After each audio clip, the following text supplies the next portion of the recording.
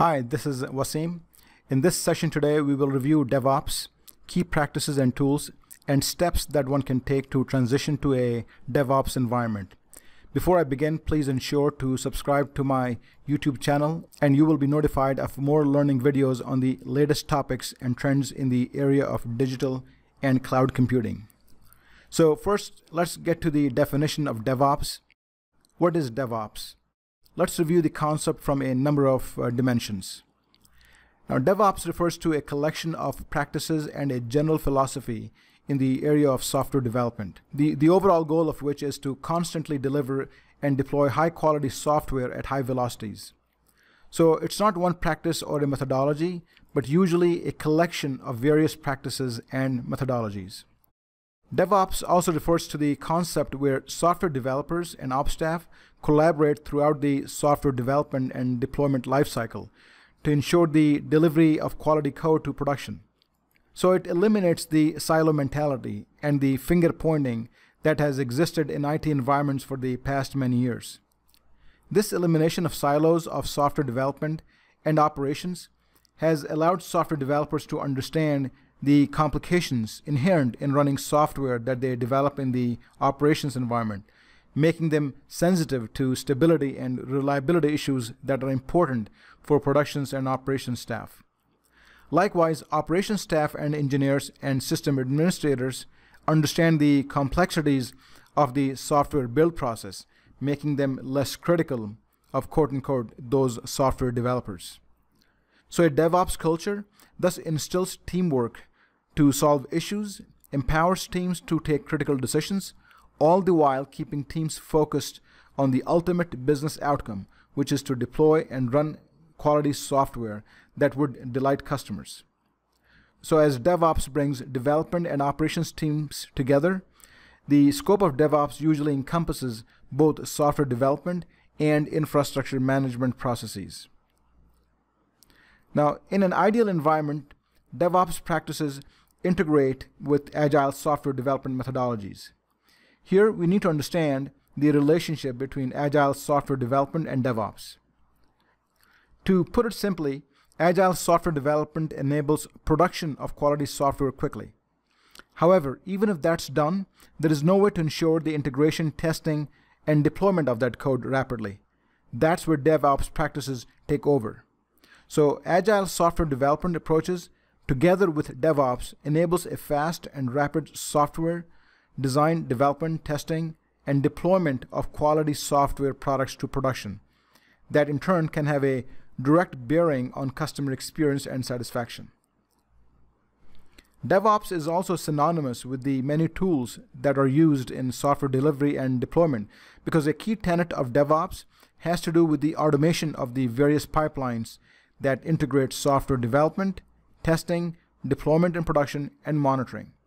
We will cover some of these tools and their functionality a little later in this presentation. Next, let's review the overall business benefits of instituting DevOps principles and practices. Most organizations who have successfully implemented DevOps report the following. An accelerated delivery and deployment process. As DevOps brings down the silos between organizations by getting teams in software development and production or operations to collaborate closely throughout the software development and deployment lifecycle, organizations observe a considerable increase in the velocity of quality software development to production. This helps the organization to serve its customers faster and to innovate and test its innovation at a rapid pace. Now, this is a departure from the traditional practices where production staff would become a bottleneck in the deployment of developed software to production to ensure stability of operations. However, as teams in DevOps work as part of one team throughout the overall process, any issues related to software development or operations are addressed during the overall development lifecycle, facilitating a fast delivery to production and operations. The next one is higher frequencies of software releases. Now, DevOps practices such as continuous integration and continuous delivery, along with automation of the pipelines from software development to deployment, enable organizations to release software constantly to production, or at a minimum, get it ready for deployment.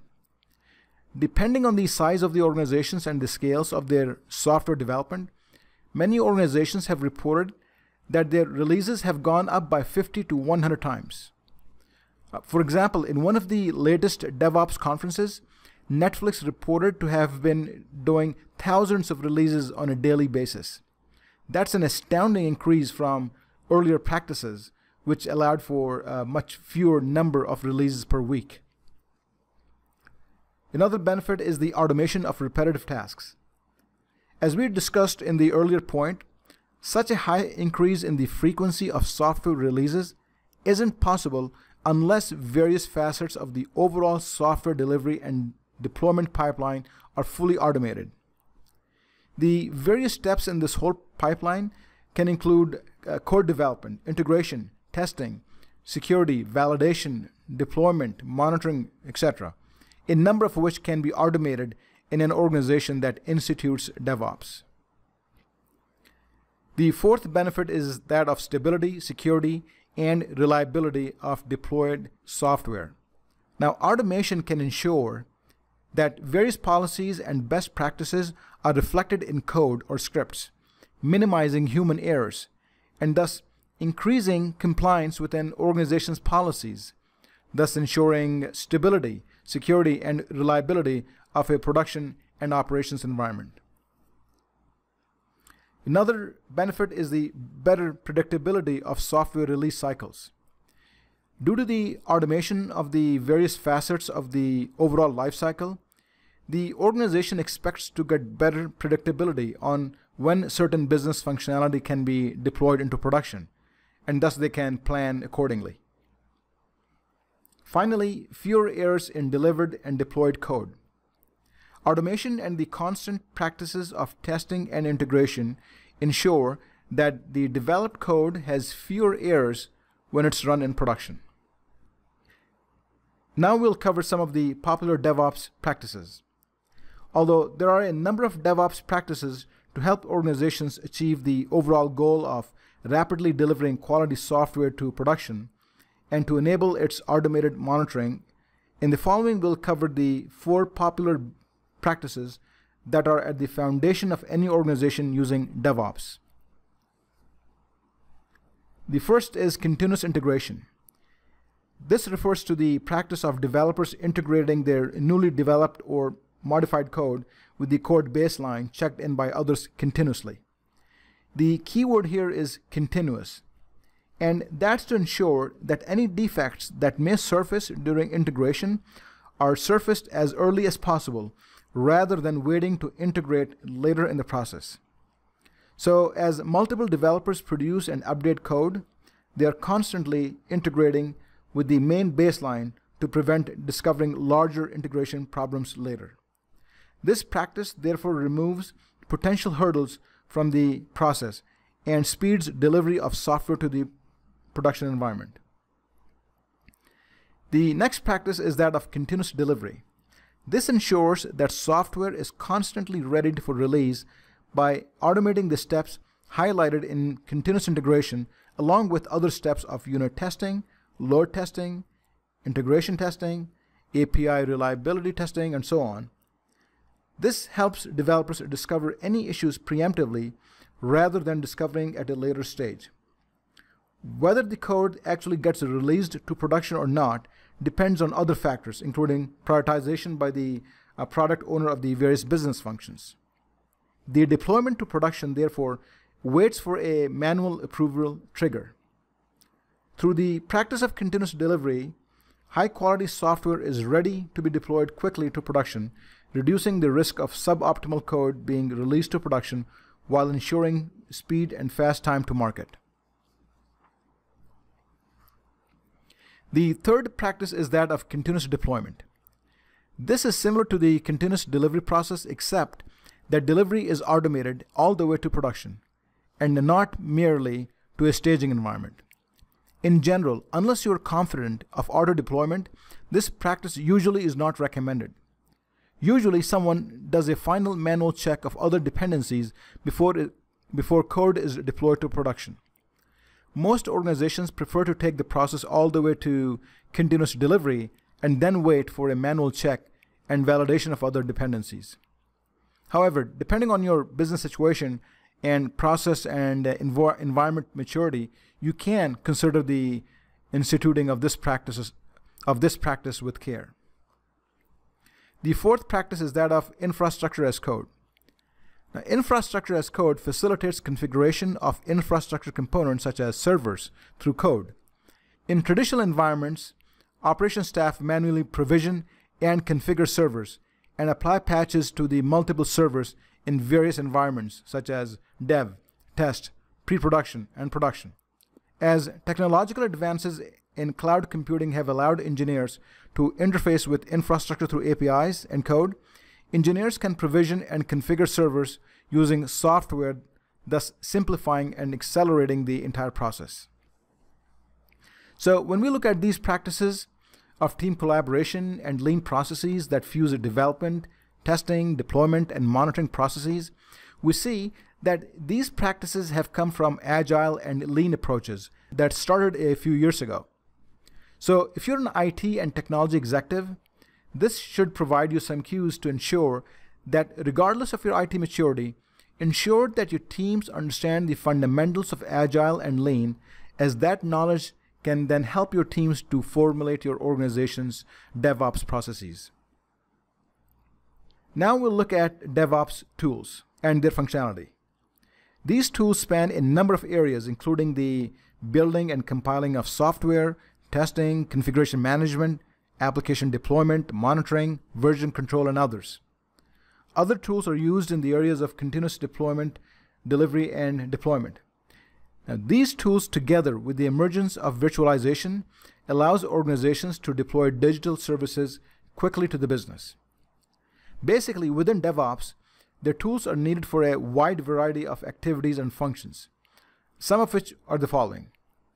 Building and provisioning of servers. Virtual infrastructure provisioning.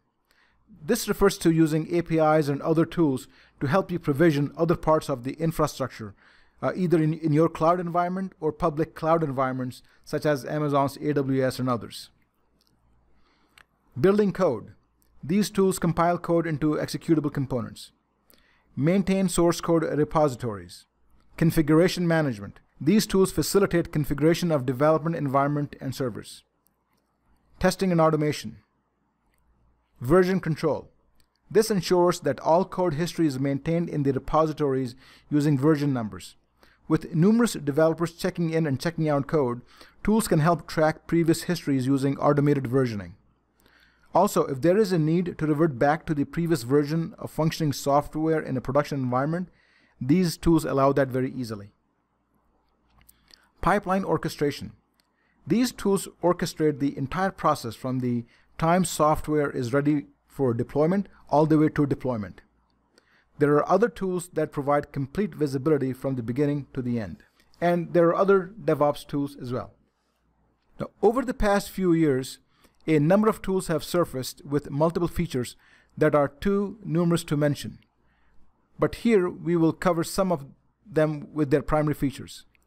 With time, these tools mature and incorporate additional functionality. Here's an overview of some of, some of those tools. Jenkins. It's one of the most common and popular tool and addresses various facets of both continuous integration and continuous delivery. Vagrant helps dev DevOps teams create and configure lightweight development environments. This falls under the infrastructure as code and essentially lets developers create a single file for projects where they can describe the type of machine they want, the software that needs to be installed, and access rules for the machine. Vagrant then uses this file to provision development environments. Splunk, this tool provides operational intelligence to the teams and is based on data analytics. Nagios monitors the infrastructure components such as applications, services, operating systems, network protocols, system metrics, and network infrastructure. Chef is another popular tool that turns infrastructure into code so that users easily and quickly can adapt to changing business needs. Docker is an open integrated tool, and framework that allows DevOps teams to build, ship, and run distributed uh, containerized applications. Artifactory is a universal code repository manager that supports software packages created in any language or technology. Jira is one of the very popular tools used by agile teams. This tool is used by DevOps teams for issue and project tracking. Production Map is another popular tool with advanced orchestrator and development features. This tool enables teams to develop and execute complex automation on a large scale of servers and hybrid technologies. Ansible is a DevOps tool for automating your entire application lifecycle. Ansible is designed for collaboration and makes it much easier for DevOps teams to scale automation, uh, manage complex deployments, and speed productivity. And then we also have Git, which is a source code repository tool. If you work with public cloud frameworks such as Amazon's AWS or Microsoft's Azure, then you will have to integrate with their specific tools and solutions. For example, in the AWS world, you'll, you will have access to the following. There are other tools as well, but we will cover some of the key ones here. Uh, AWS Code Pipeline. Uh, this addresses both the continuous integration and uh, continuous delivery practices, and when configured properly, according to your workflows, allows a complete smooth DevOps pipeline. Uh, then there is AWS Code Build. This tool, as is obvious from the name, is, is used for building software and checking in repositories and to perform testing. It also ensures that one doesn't have to worry about server provisioning, etc., as they're taking care of this uh, in the background. Then you have AWS Code Deploy. This AWS service allows the deployment of code to production to AWS server instances. Finally, we will discuss some of the steps that organizations can take to institute DevOps in their environment. The first is to start small. Start with a small project and get it through a continuous integration and delivery pipeline, and then to deployment. So essentially get your teams to understand the technicalities of instituting a DevOps pipeline from planning and development of code to deployment, monitoring, and collecting feedback. Next is to focus on the cultural aspects. So in parallel, start to focus on the cultural aspects. That's very important. DevOps is not merely about getting a bunch of tools and making them work together. If the cultural aspects that we discussed earlier about collaboration, bringing down silos, etc., are not taken care of, then the effort won't yield fruitful results. Next, as you start to mature gradually and start to piece together various tools, to support the development and deployment processes in your environment, define a specific workflow or workflows that would be appropriate for your software environment. So for example, if you have multiple and hybrid development environments related to Docker applications or Kubernetes, legacy applications, uh, working in public cloud environments and more, then ensure that your defined workflows will work to support all those scenarios. Select the right tools to define your workflow. Depending on the workflows that you define, you will need to then ensure that you pick the right tools that integrate tightly to form an integrated DevOps pipeline. That is essential to ensure maximum automation that at the end will help you achieve high velocity development, delivery, and deployment. Finally, establish business level metrics and measure maturity over time. So you must ensure that you institute the right metrics to ensure that you can measure your organization's maturity over time in terms of delivering more software, quality of deployed software, and so on. With this, we come to the conclusion of this presentation.